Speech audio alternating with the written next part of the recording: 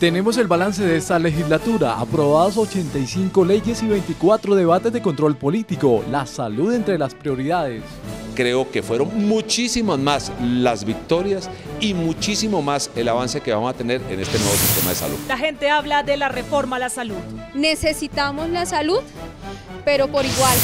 Más de 5.000 colombianos participaron en las segundas mesas de paz del Congreso y radicaron más de 3.000 propuestas. Que la reparación no se realice mediante intermediarios, sino que sea directa. El fuero penal militar, una de las iniciativas que le da garantías a los miembros de la fuerza pública. Depende del mando institucional en su carrera. Periodistas y excombatientes de la guerrilla frente a frente hablan del papel de los medios en el proceso de paz. Yo creo que los medios de comunicación tienen que tomar una decisión en torno a si seguir haciendo un cubrimiento tan mediocre de lo que se está haciendo. El presidente del Senado, Roy Barreras, dice que le cumplió al país. Le cumplimos al país a pesar de los eh, malos augurios. Se crea la Agencia Nacional de Seguridad Vial para prevenir la accidentalidad en Colombia. Este gobierno la convirtió en una política de su gobierno. Los mineros no pueden utilizar mercurio. Proyecto presentado por la senadora Maritza Martínez fue aprobado en la plenaria. Vamos a lograr ver este país en condiciones ambientales más adecuadas. Les tenemos las respuestas de nuestros televidentes a la pregunta de la semana y lo que trinan los senadores en las redes. Y en Para Contar Espere, las becas para los mejores universitarios y el control a las playas y parques en las leyes aprobadas por el Senado.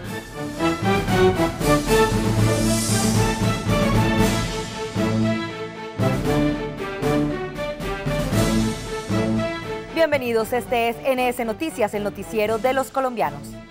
El Senado de la República dio un paso fundamental para garantizarle a los colombianos una salud con calidad. La reforma estatutaria contempla, entre otros aspectos, mejores precios de los medicamentos, que el Estado pague directamente a los hospitales y la eliminación de las CPS como intermediarias. Aquí los puntos principales. Con 56 votos positivos y 4 negativos, la plenaria del Senado aprobó el proyecto de ley estatutaria que garantiza el derecho fundamental a la salud. Creo que fueron muchísimas más las victorias y muchísimo más el avance que vamos a tener en este nuevo sistema de salud. El senador Luis Fernando Velasco, ponente de la iniciativa, explicó que el proyecto establece unos elementos principales para su aplicación, tales como no existirá un plan obligatorio de servicio. Ya no va a existir POS, va a existir un plan universal nosotros dejamos claramente en la ley que al ciudadano hay que darle la necesidad requerida, que es ni más ni menos que lo que necesite. Se define el principio de autonomía médica. El médico dice qué tratamiento se le da al ciudadano, a uno lo va a recetar el médico y no el gerente de la EPS. Se regula el precio de los medicamentos. ¿Cómo así que los colombianos estamos pagando tres y cuatro veces la medicina que se paga en Ecuador y en Venezuela y es del mismo laboratorio? Eso hay que controlarlo. No se pone en riesgo la tutela. Y no se toca la tutela porque la tutela permanece con más fuerza, porque ya no solo es un derecho fundamental reconocido por sentencias de la Corte, sino por una ley estatutaria. Ahora la ley estatutaria de la salud sigue su trámite en la Corte Constitucional y luego pasa a sanción presidencial. Le consultamos a la gente sobre esta reforma y lo que esperan una vez entre en vigencia. Pero creo que sí es conveniente que le hagan una reforma porque en absoluto estamos graves, graves, graves de todo. Hay muchas personas interesadas no en la salud, en prestarle un servicio, sino en, en, el dinero. Que se pongan la mano en el corazón y se den cuenta que necesitamos la salud, pero por igual. Mala, pero mala es mala. Estamos en un proceso caótico referente a la salud. El Congreso de la República en esta legislatura que termina realizó 19 mesas de paz en todo el país y escuchó a las víctimas de diferentes regiones de Colombia. Este es un aporte del Congreso para poner fin al conflicto. Hasta la fecha, las mesas de paz del Congreso han visitado 19 ciudades colombianas, encontrando en cada región amplio respaldo ciudadano con sus propuestas de paz. 3.000 propuestas de colombianos y colombianas llegaron a La Habana, llegará en una segunda fase la voz de las víctimas, de todas las víctimas, de todo tipo de victimarios a la mesa para recordarle a los negociadores que las víctimas deben estar en el centro del proceso y que lo que queremos es que no haya más víctimas. Las víctimas pidieron que hayan garantías de no repetición, que sean reparadas integralmente, pero sobre todo piden conocer la verdad. De que la gente de alguna manera tenga un resarcimiento al saber qué le pasó a su hijo, a su hija, a su hermano, a su hermana, a su papá, a su familia. Yo creo que eso es fundamental.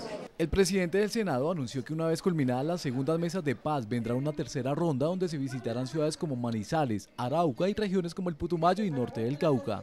Las segundas mesas de paz del Congreso terminarán el próximo 11 y 12 de julio en Ibagué.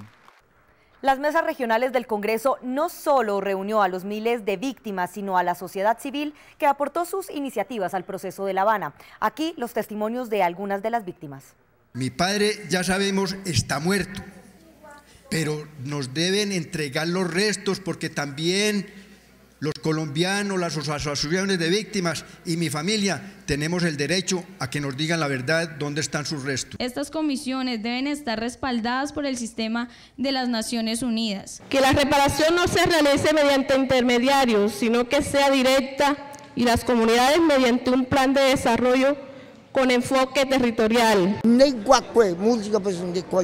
Si no se llega a este proceso de paz, no hay cómo trabajar. Que no se nos tilde como colaboradores de ellos, sino que somos territorio de paz. Segundo, el respeto a nuestro territorio, a la madre tierra, el respeto a nuestros líderes indígenas. La guerrilla ha cometido atrocidades que deben tener unas penas que nos lleven a la impunidad.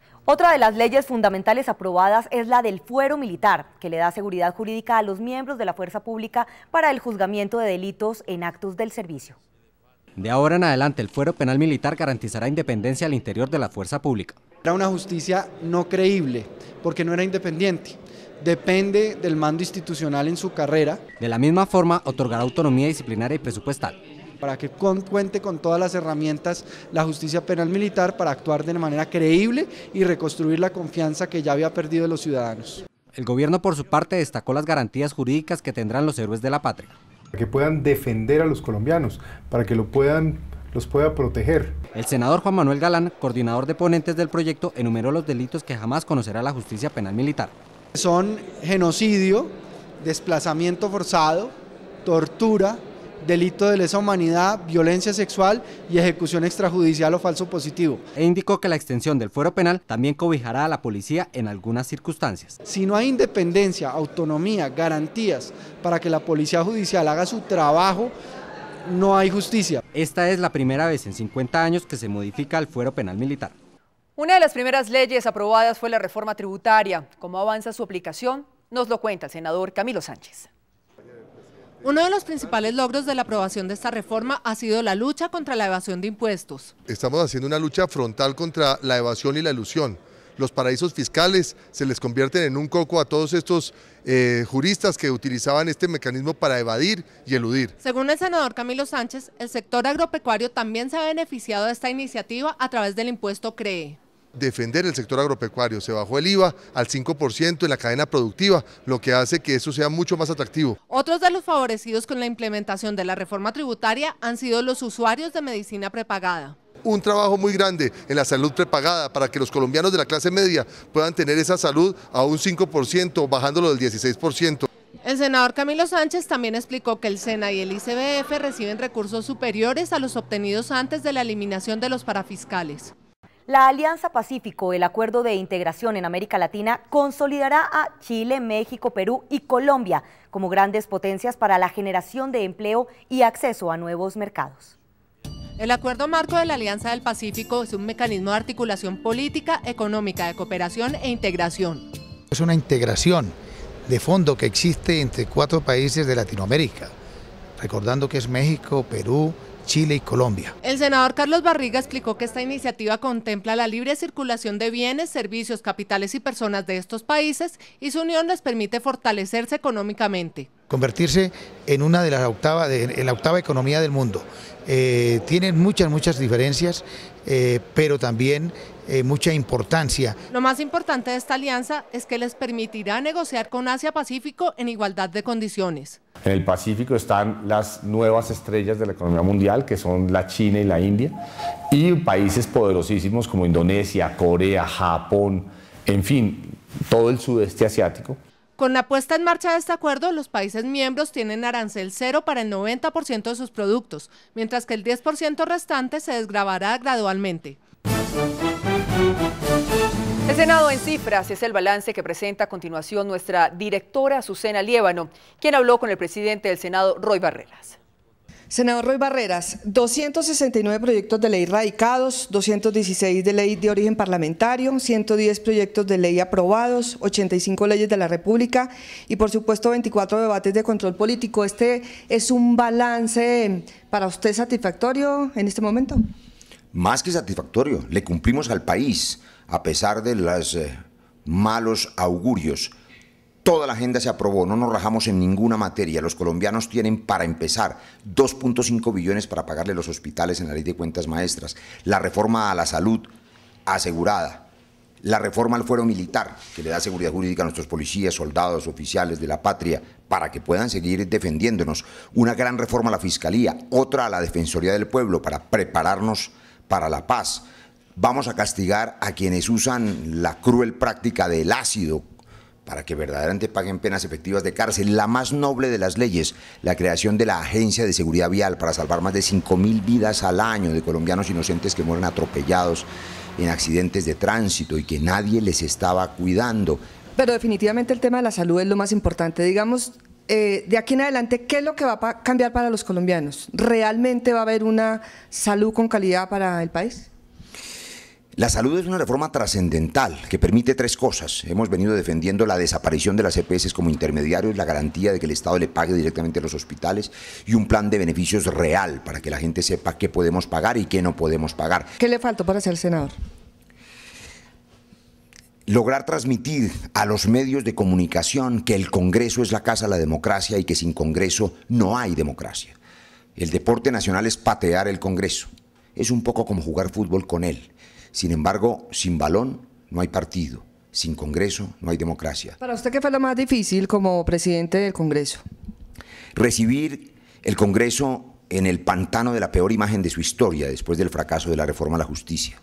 Poder transmitirle a los colombianos que se trabaja con eficiencia y que íbamos a cumplir, a pesar del pesimismo de muchos, con toda la agenda legislativa. El Senado realizó el cuarto foro de procesos de paz exitosos. Esta vez el eje fue el papel de los medios de comunicación en el actual proceso de paz. Para quienes hicieron parte en el pasado de un grupo armado ilegal, los medios de comunicación se han quedado cortos en el cubrimiento del actual proceso de paz. Han funcionado como caja de resonancia muchas veces en función de la, el matoneo contra la paz hecha. Sostuvieron además que los medios privados no profundizan en los detalles y se quedan en lo superficial. Seguían mucho por la chiva y entonces en la chiva es muy fácil caer en tergiversaciones, en visiones sesgadas, parciales, incompletas. Quienes a diario informa se defendieron y dijeron que las circunstancias de este proceso limitan el libre acceso a la información. Yo creo que los medios de comunicación tienen que tomar una decisión en torno a si seguir haciendo un cubrimiento tan mediocre de lo que se está haciendo o simplemente esperar, esperar que se consolide el proceso de paz. Para el copresidente de la Comisión de Paz del Senado, estos escenarios servirán para aportar ideas y no repetir experiencias del pasado.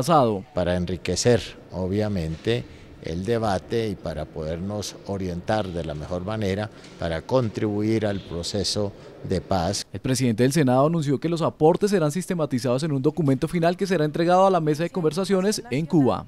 La actividad minera en Colombia no podrá utilizar mercurio. Esta iniciativa de la senadora Maritza Martínez fue aprobada por la plenaria del Senado y ahora pasa a sanción presidencial. Erradicar el uso del mercurio e implementar otras tecnologías para la explotación minera será una realidad. Ya pasó su cuarto y último debate, ya el Congreso cumplió, vamos a lograr ver este país en condiciones ambientales más adecuadas eh, pero adicionalmente vamos a preservar la salud de muchísimas personas. Los mineros tendrán un plazo de 5 hasta 10 años para acogerse a las nuevas tecnologías para la explotación minera. Van a recibir apoyo del gobierno, destinamos unos recursos importantes para hacer la transición y eh, creo que finalmente van a ver las bondades de este cambio. El proyecto fue aprobado por la plenaria del Senado y ahora pasa a sanción presidencial. La plenaria del Senado aprobó en segundo debate la creación de la Agencia Nacional de Seguridad Vial. Con esta iniciativa se pretende disminuir o evitar en su totalidad los índices de accidentalidad en el país. Con esta agencia se pretende evitar tantas muertes ocasionadas por los accidentes de tránsito. Todos los colombianos entienden la necesidad, la importancia que haya una entidad que se dedique a salvaguardar la vida de los colombianos en materia vial y en ese sentido creemos que va a tener el respaldo de todos los partidos políticos sin ninguna dificultad. La seguridad ha venido como rueda suelta, no es una política de nadie, este gobierno la convirtió en una política de su gobierno. En tan solo 14 meses van cerca de 6.000 muertos por cuenta de los accidentes de tránsito y la principal causa por no respetar las señales. Lamentablemente siguen muriendo al año alrededor de 5.800 personas y alrededor de 40.000 personas quedan gravemente lesionadas por la alta accidentalidad. Por eso el Senado y el Gobierno Nacional se unen para acabar con un problema que está cobrando vidas día tras día. Queremos tener un verdadero instrumento que funcione y que le diga al país que sí estamos en la ruta correcta para eh, salvar vidas, que es de lo que se trata este proyecto. Ahora la Agencia Nacional de Seguridad Vial, iniciativa del presidente del Senado, Roy Barreras, pasa a sanción presidencial. Con el fin de prevenir los problemas de salud en las cárceles, se implementó un plan piloto de telemedicina que resuelve uno de los principales problemas de la emergencia carcelaria. Las nuevas tecnologías favorecen ahora a los reclusos de la modelo. Desde hace un mes los internos pueden ir a una cita médica sin salir del centro de reclusión, pues la telemedicina les permite acceder a un especialista, practicarse exámenes médicos y ser diagnosticados oportunamente a través del siguiente procedimiento. Notificarle al área de sanidad de, la cárcel modelo que necesita una atención, es visto por el médico general de la cárcel modelo y él solicita la consulta especializada con nosotros. Por este medio acceden a cualquier tipo de especialidad como ortopedia y otorrinolaringología, entre otros, ya que a través de la pantalla esta cita parece presencial y no virtual que le posibilita a los internos pues no salir del establecimiento pero ser oportunamente atendidos. Yo creo que es un gran avance que estamos dando para dignificar en algo la calidad de vida del interno y de las internas en las cárceles eh, colombianas. El director del IMPEC, general Ricaurte, dijo que esta técnica podrá resolver la emergencia carcelaria en materia de salud. Aspiramos que terminado esta prueba piloto hayamos por lo menos examinado más de 250 internos. En otras noticias, el matoneo escolar es una de las leyes más importantes de esta legislatura. Su objetivo es prevenir y mitigar la violencia en los colegios. Para evitar el bullying se creó un sistema nacional de convivencia escolar y formación para derechos humanos. El objetivo de esta ley es implementar una política pública que fomente la convivencia y tolerancia en los ámbitos familiares, escolares y sociales. Darles una herramienta al gobierno nacional y a que estas instituciones educativas puedan partir realmente de una sensibilización importante. La senadora Olga Suárez Mira, coautora del proyecto, manifestó su preocupación porque los casos de matoneo continúan. Hemos seguido teniendo muchísima violencia realmente en nuestras instituciones educativas. Explicó que aunque debe haber un trabajo institucional conjunto, es preciso trabajar desde la familia. Yo pienso que desde la familia, desde el hogar, desde realmente el papá, la mamá, los padres de familia, muchas veces son los últimos o somos los últimos que nos damos cuenta qué está pasando en las instituciones educativas. El senador Carlos Baena destacó la importancia de la ley y el seguimiento a la misma. No nos quedemos solo con la ley, sino que realmente la apliquemos, la ejecutemos, le hagamos seguimiento a las leyes de Colombia.